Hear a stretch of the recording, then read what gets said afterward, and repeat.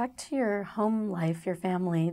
Do you practice Jewishness, cultural, religious, and if so, how today? Mm-hmm.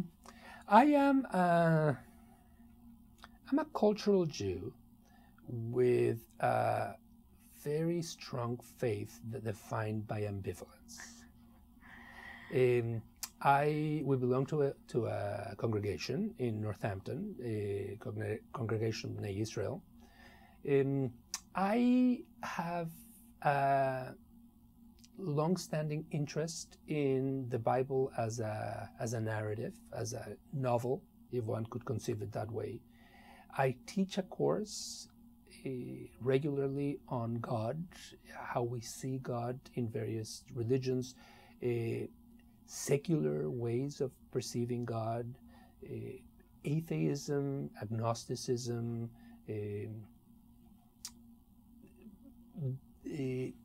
debates among religions in the Middle Ages concerning the power of God, the, the same God being represented in various religions or different gods being for different religions. I envy those that have a faith that is unshakable. And I say this with no degree of irony. If I could not doubt my faith, I would be a committed believer, but I can't.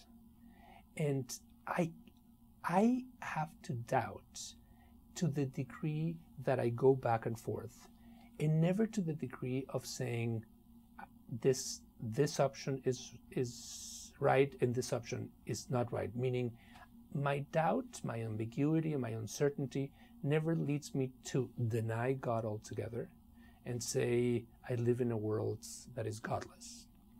God at some point comes back and says, "Here I am," and consider me again, or I am considering you, again, and uh, welcome to the dialogue.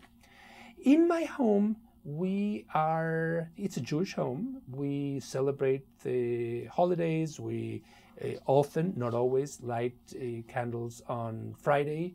Um, there is a lot of Jewish discussions, Jewish debates at home that have to do with literature, that have to do with philosophy, that have to do with politics uh, Middle Eastern politi- politics, American politics are at the center of the dinner table dialogue.